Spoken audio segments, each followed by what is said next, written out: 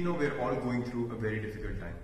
And the only way to stop the spread of coronavirus is by acting together. We are staying at home for our safety and for everyone else as well. And you should do it too to prevent the further spread of the virus.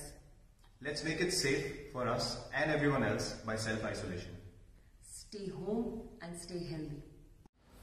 नमस्कार मैं हूं अमिताभ बच्चन देश में फैल रहे corona virus से कई लोग अब तक संक्रमित हुए हैं जिनका इलाज अभी चल रहा है। लेकिन इन कुछ नियमों का पालन करने से हम इसे फैलने से रोक सकते हैं। अपनी व्यक्तिगत स्वच्छता पर ध्यान दें। साबुन और बहते पानी से लगातार अपने हाथ धोते रहें। छींकते और खांसते समय रुमाल या टिश्यू से अपना मुँह ढकें और फिर उसे किसी बंद डब्बे में फेंक दें।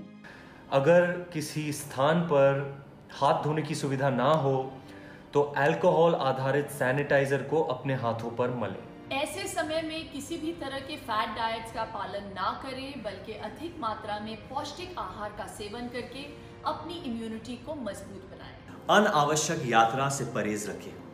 बीमार लोगों से कम से कम एक मीटर की दूरी रखें।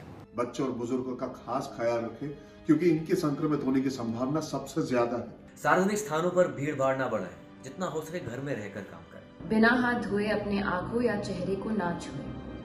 अगर आपको खांसी बुखार या सांस लेने में दिक्कत हो तो किसी के संपर्क में ना आए तुरंत डॉक्टर से मिलिए। ऐसे मुश्किल वक्त पर ज़रूरत है हम सब एक साथ मिलकर एक अच्छे नागरिक की ज़िम्मेदारी निभाएँ ताकि इस वायरस से डरने के बजाय सावधानी और सतर्कता से हम इससे लड़ सकें। सुरक्षा के प्रति हमारा एक कदम कई जिंदगियाँ बचा सकता है। अगर हर एक नागरिक इन नियमों का पालन करके अपना योगदान दें तो साथ मिलकर यकीनन हम इस खतरे को टाल सकते हैं।